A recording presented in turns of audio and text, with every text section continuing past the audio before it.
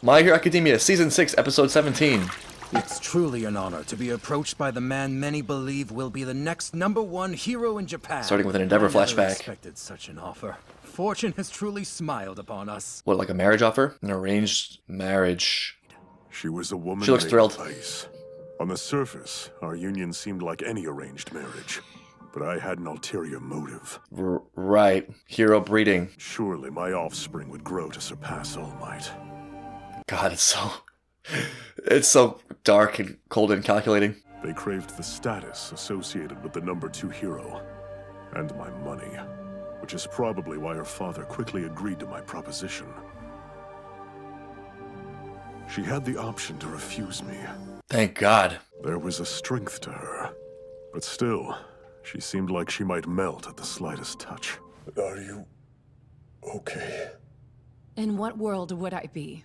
That's why I've come here. Not so delicate anymore. You're not the only one who overlooked our child. And taking responsibility, which I know is a controversial discussion in the show. This came up a lot in the early episodes with Todoroki, the, the question of what role she played in the incident that left him scarred. My take on it then, and still now, was that you can separate, right? Like it could be a lot of things at once. The relationship was abusive, her breakdown is understandable. She did throw hot water in Todoroki's face. But anyway, I think the point is not to assign blame, because that doesn't really do anything. I think the question is always, what do you do now? How do you do the best you can with the situation you're currently in? And the point of glimpses into the past like this are not to point fingers necessarily, or to try to gain some high ground or moral grandstanding about who was more wrong than whom, but just to identify personal blind spots in ways that you can avoid the same pitfalls in the future. I think that's part of what's been so satisfying and what makes his character so great to see Endeavor wrestle with the acknowledgement of all the terrible evils he's committed against his family and vow to change. That's sort of where it's at for me, right? With her now, it seems like this is a major development for her character, kind of taking some agency in her own life. And it feels good to me. It doesn't make Endeavor any less culpable. It's not at all a method of absolving him for his misdeeds. Just isolating, it's satisfying for me to see any character, both characters in this case, reflect on what they each can do with the situation they find themselves in now. Just as a general intuitive guide for judging any action, I think there's a spectrum. And the, the closer you get in any given dilemma to maximize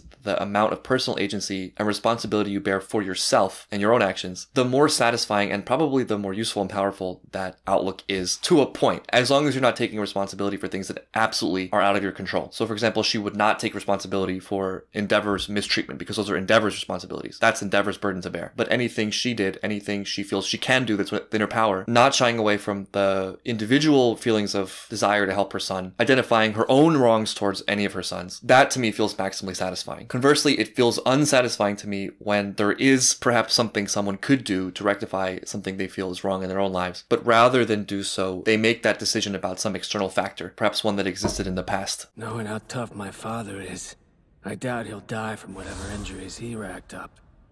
Even if he wanted to. That was the plan, right? He wanted to leave him alive, wanted to see him squirm. Enji, Mom, Fuyumi, Natsuo, Shoto. When you're crying in hell. It's just directed at everyone, Wave. the whole family. Episode 17 The Wrong Way to Put Out a Fire. Scorched Earth, I guess. No one is spared, no one is innocent. In a way, I feel like the biggest threat to Dabi is not Endeavor and his happiness or his success, but the kids' happiness and the kids having a good relationship with their parents. Because in Dabi's eyes, that's a brutal unfairness, and also it's proof of something that runs counter to his whole hateful narrative, which is that Endeavor and I guess now his mom are actually aware of their mistakes, are not just categorically evil, the end, have some redemptive potential, and can have good relationships with their kids. That's a very weird thing. It's hard to even address because you you have sympathy for victims, but there is perhaps a point at which your hate runs so deep that you don't even want to see anybody be able to make amends. You want to ignore or not believe in other people's powers for good because it's become such a pillar of your identity.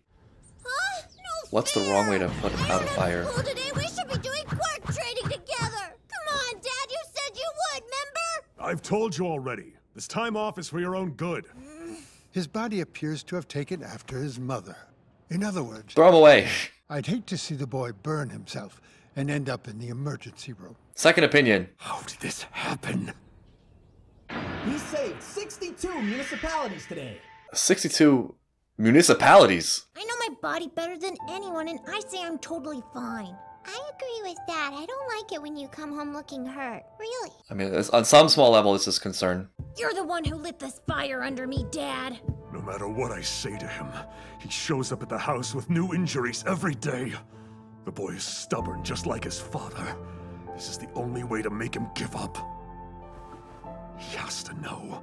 He can't beat All Might. You know, I didn't expect this at all. I didn't expect to see this kind of concern from Endeavor. I almost feel like we don't need it, or I think it would have been more interesting. I don't know, something compelling. If no, Endeavor had just pushed him all the way to the brink. Because the power of Endeavor's character is watching someone who's just really awful struggle to not be so awful and even be great. There's a really powerful theme in there about chance, you know, and redemption, righting the wrongs of the past. So I kind of don't need it to have been Dabi pushing for it. You know what I'm saying?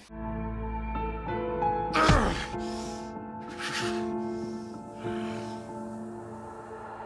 Imagine being angry about watching someone save little children. The priorities all wrong.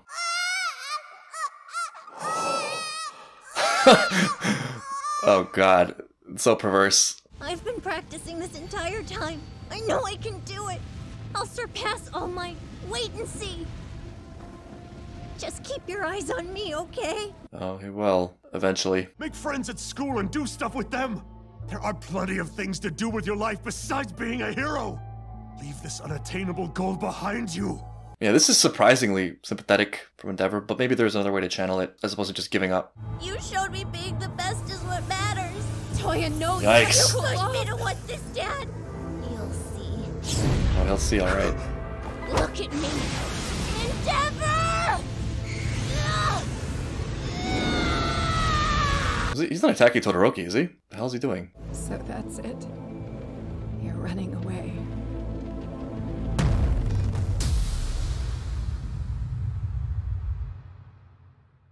The wrong way to put out a fire. What was the kid's sin? I mean, I get why he would hate Todoroki. We're failures to him, so he pretends we don't even exist. You've already told me this like a million times. Ugh, why don't you go bother Fuyumi instead?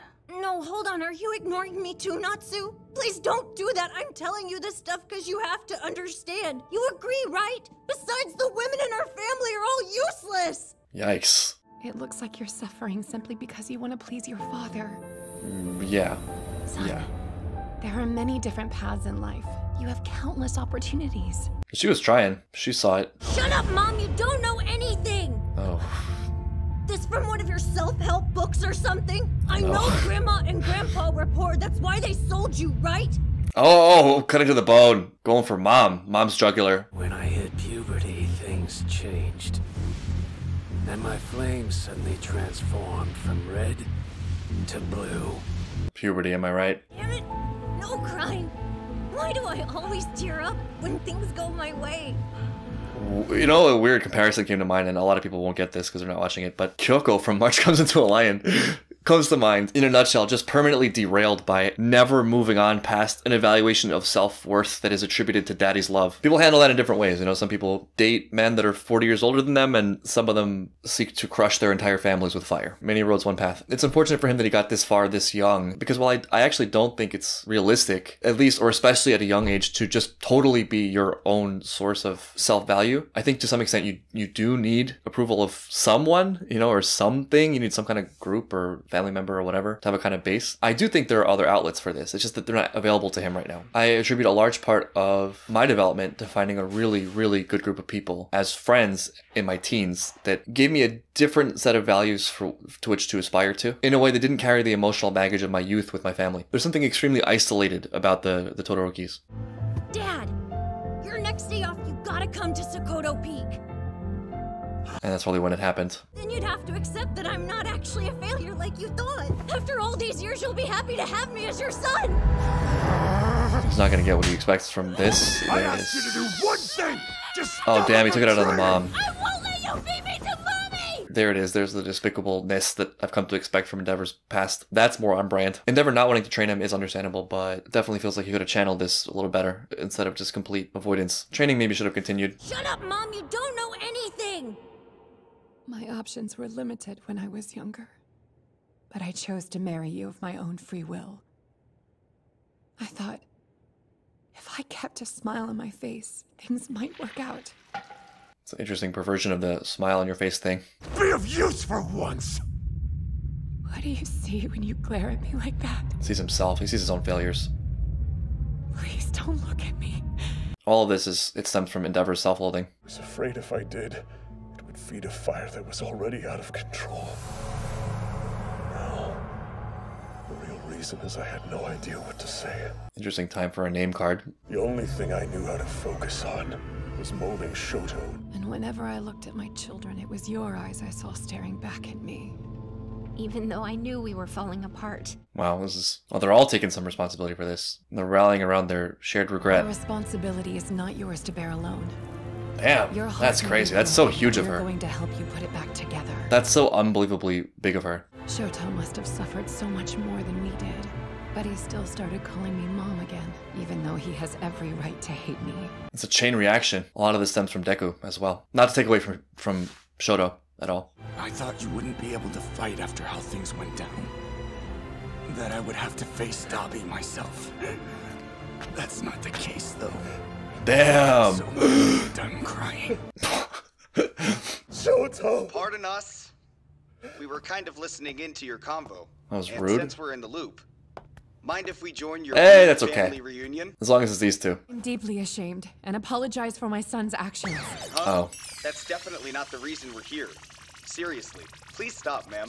I admit we wanted answers about Dabi, but eavesdropping is sketchy like black market denim. What does that even mean? Don't question it. Just go with it. Everything Best Jeanist says is woven together with a golden thread. That was a really amazing scene, and one thing I'm hit with is even more tragedy for Dabi because he's already so far gone. He, he's missing all this. His whole crusade and self destruction is him fighting an evil that's gone. It's not there anymore. It's not in this room. Looking at Shoto, it's kind of what I was thinking about earlier. He was stuck in it too, right? He was stuck in it. He didn't self-destruct like Dabi did, but it wasn't until he met Deku and met a higher form of values to aspire to that he was able to push past the system he was kind of stuck in, which is that everything is about dad. And I think a critical thing that happens in that point that is essential is if you can get out of it long enough to look back at it, you realize that it's small. You know, you realize that you were trying to live up to something that was smaller than what you could be. And that has a way of dissipating the fire somewhat, no pun intended. And once you can neutralize that, the emotional connection and see things really clearly, that's the space in which things can start to be healed. And interestingly, a lot of times that comes from the opposite direction than you first were intending. It's not you seeking the approval of that figure, but that figure seeking your approval, which I think is the case here. I think in many ways, Endeavor has been catching up to Todoroki. And you can feel that in their interactions. It's kind of like Todoroki's gift to give, whether or not he accepts Endeavor back, whether or not he has anything to do with his father. In the first place, you can't force anyone to care about you. You can't force anyone to be anything that they're not or that they're not willing to be. I think the best chance you have is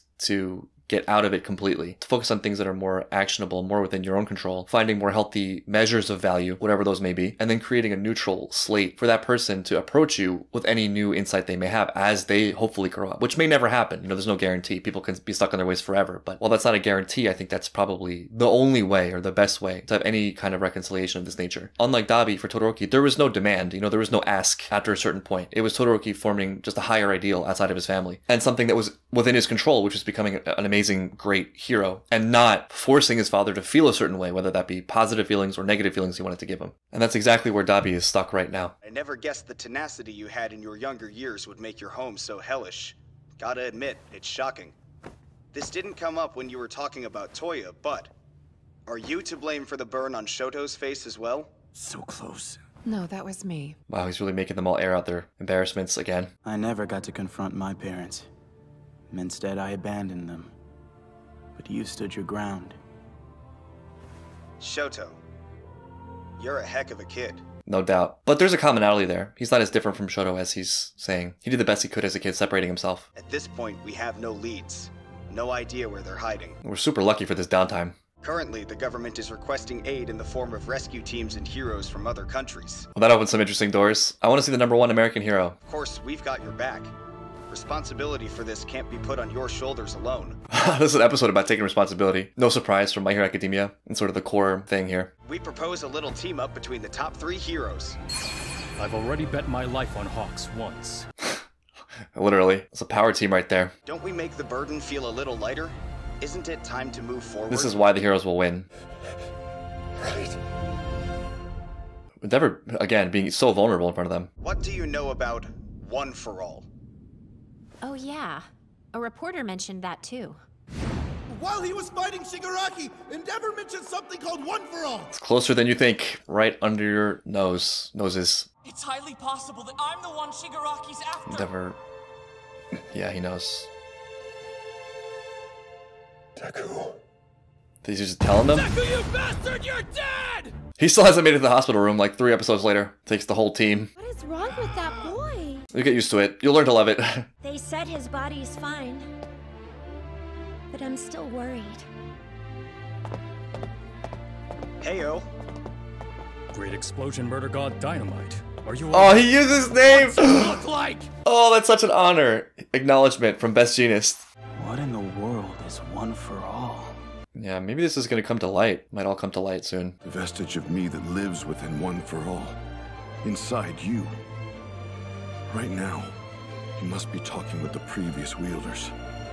Maybe he'll emerge with some new powers. It's been a long time without Deku. That was a really amazing episode of keeping up with the Todorokis. I guess it was necessary, right? Like, we went all the way down. We hit bottom. All characters explored the depths of their guilt and their responsibility, and they came away with it with something very trademark My Hero Academia, which is the quest to, to their abilities, to the best of their abilities, in their own power, putting their desires on their own shoulders, while also working together. You know, the them having a cumulative effect at righting the wrongs that they see, without shying away from it, which I think is, speaking about it in real terms, very impressive. I think it's a lot harder to do than it seems, especially given Endeavor's crimes. I mean, he has every incentive not to want to face that, right? He was already on that path, right? But now there's absolutely no ignoring it whatsoever because it's responsible or it's connected to a threat that's facing the entire world. Props to the mom also. I mean, she dug herself out of a really dark place, and it seems like she did that not alone, but from her own resilience, from her own strength. She could have easily just been out, right? She could have just been out and lived as a mental patient her entire life, seething about Endeavor in her past. But that's not the end of her story. I can't remember all the details, but it does seem to me like there is a little bit of a trickle down effect from Todoroki himself. Todoroki seems to have led the charge in a big way, which again doesn't take away from any of their individual contributions, any of their individual soul searching, because that's their strength. That was on them to do, and they did it. But I think the sort of the catalyst or breaking point was Todoroki battling with his demons in counterpoint to Toya to get out of it, to reach above it, attain something higher. Deku was a big contributor in that, at least in just showing him the path, you know, showing him that there's something else. It's your quirk, not his, etc. And I think that when all is said and done, that will be the story of My Hero Academia. It will be all of the heroes or anybody who makes a meaningful contribution having done that battle individually, and then that compounding collectively because they're they're even more powerful as a group. They're greater than the sum of their parts, and they all are there to fill in some of those gaps or help mend the voids of individual characters when they can. There are a lot of things that could happen, but it seems like a big part of this will not only be Deku's fight against Shigaraki, but Endeavor and Shoto's journey. I don't even want to say to fight Dabi. It's bigger than that. It's not about a battle. To follow their destiny with their family member. I'm very excited to see that, and also to see this dream team of Endeavor, Hawks, and Best Jeanist.